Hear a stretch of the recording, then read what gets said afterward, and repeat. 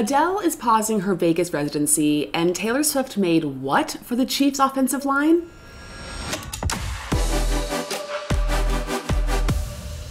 Hi, welcome back to a quick look, a pop culture show where I'll be taking you through the biggest headlines, entertainment, and current events.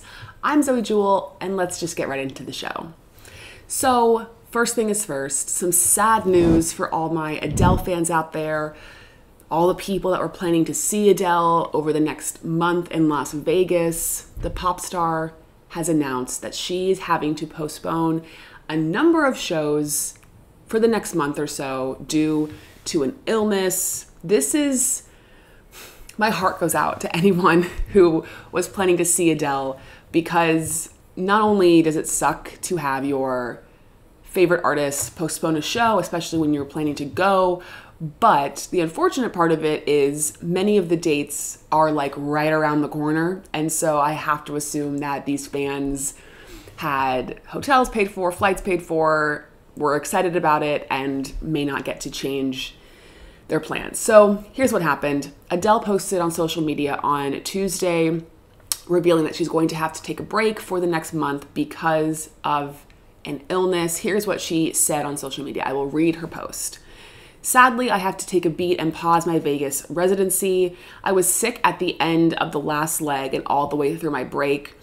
She also added that she hasn't quite gotten the chance to get back to full health before her new shows resumed. So, on doctor's orders, I have no choice but to rest thoroughly. The remaining five weekends of this leg are being postponed to a later date.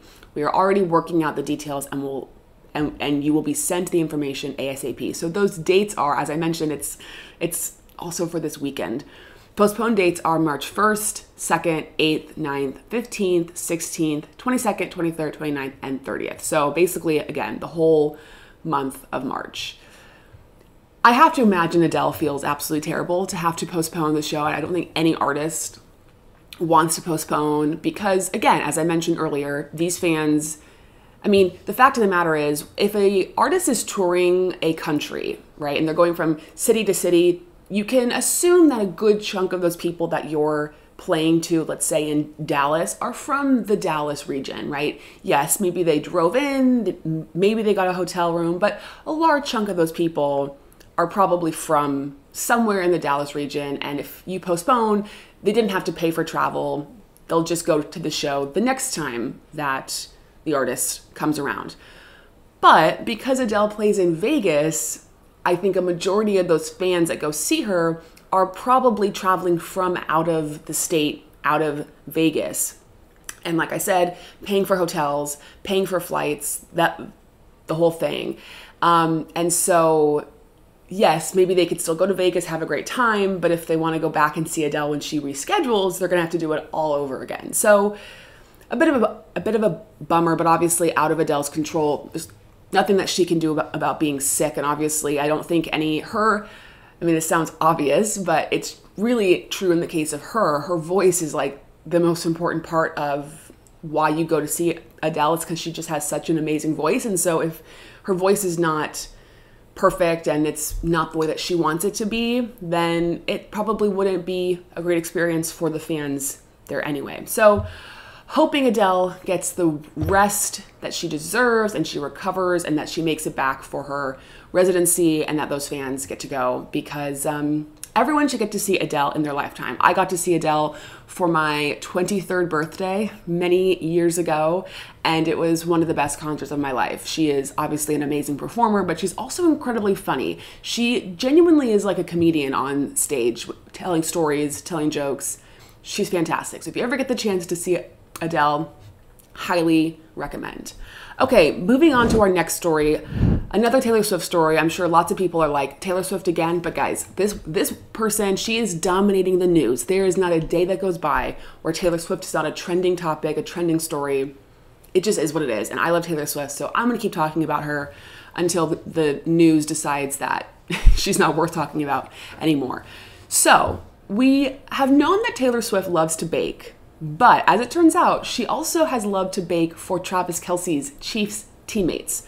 Coach Andy Reid revealed earlier this week that Taylor Swift made homemade Pop Tarts for not Travis Kelce, but for the Chiefs' offensive linemen, which is just incredible. So, as I mentioned, Andy Reid was doing an interview this past week during the NFL Combine, and he was asked about Taylor Swift. And Andy Reid always handles these questions about Taylor Swift very, very well. He he doesn't seem too irritated, and he he seems to enjoy talking about her.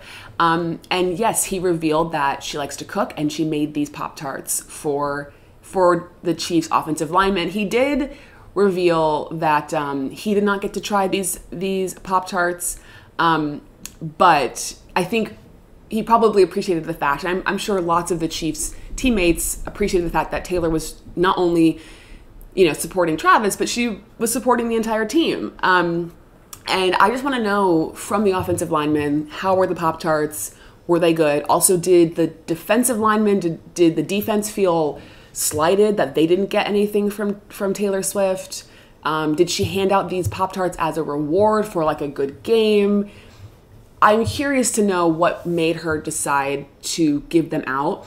If you know anything about football, you probably know that the quarterbacks for every team every Christmas tend to gift their offensive linemen because the offensive linemen are the ones that protect the quarterback. They tend to give their offensive linemen these really lavish gifts. For example, this year, Patrick Mahomes gave his offensive linemen golf carts. Sometimes quarterbacks will give their offensive linemen like really fancy watches or Louis Vuitton bags, just like a big thank you for keeping them safe and protecting them throughout the year, even though sometimes they don't deserve it, honestly. Um, and so I wonder if Taylor Swift knew that or was told that, that like it's a thing that people give gifts to the offensive linemen. And she was like, well, I should give them gifts too.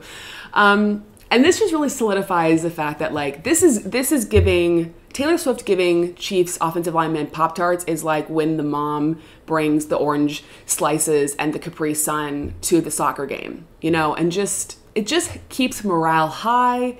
Sugar makes people feel good, and I just think it's amazing. Like even professional athletes need their sweet treats at the end of the day. All right, guys, that's our show for today. Not a lot to talk about, but Adele, Taylor Swift, pop star queens. So, you know, what what more could you want? Let us know in the comments what you think of Adele's Vegas postponement, Taylor Swift's baking skills, and as always, make sure you subscribe to our channel, follow us on social media, and we'll see you guys next time. Bye.